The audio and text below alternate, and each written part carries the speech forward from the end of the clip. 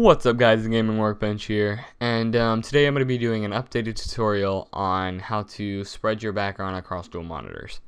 Um, now the first thing you want to do is make sure both of your monitors are, are the same size, um, or else this probably isn't going to work. Um, but then you want to make sure they have the same resolution. And to do that, all you have to do is right click on your desktop, go to screen resolution, and then you can cycle through and make sure that they're at the same resolution. If they're not, um, go ahead and make them into the same resolution or else this isn't going to work. Um, now, what you want to do is you want to take the first number from both of the resolutions and add them together.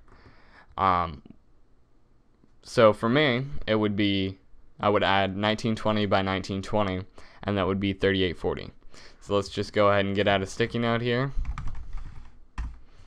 and we're just gonna write 3840 and then you want to take the second number and just do it as an as it is. So 1080 or whatever your resolution is. Let's just add spaces in there that way it's um, easier to see. And then you can just exit out of that. Now what you want to do is go to a website where you could get this resolution for a background. Um, I personally recommend dualmonitorbackgrounds.com. They, I'm not affiliated with them, but they seem to be really good every time I've used them. Um, so now we'll just go to dualmonitorbackgrounds.com.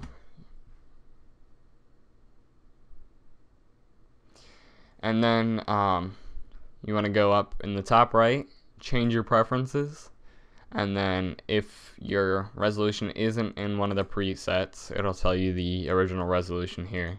So uh, 1920 by 1080 times 2 which basically means twice so two monitors. Um, if you're if you don't have a preset um, then just go down here and type in your resolution. So it works the same way it's just they have automatic presets here. So we're just going to select our resolution, or my resolution, and then you've got a ginormous variety of backgrounds for both your monitors. Um, I'm just going to pick a random one here, and we're just going to go with the Huskies because I love puppy dogs. Um, you want to do is click on it, and then right click, save image as, and then save it in here, in wh wherever file you want to. Um, then you can go ahead and close out your browser. Um, if you want to keep this, you can, but I'm just going to close it out. Now what you want to do is you want to right click on your desktop, go to personalize, and then go to desktop background, and then you want to browse for your image. I already have mine under background here. I already did this once, so um, that's why there's two of them here. Um, so now that you've clicked on it, you may be wondering why I thought this was a dual monitor background. Why is it the same thing on both monitors?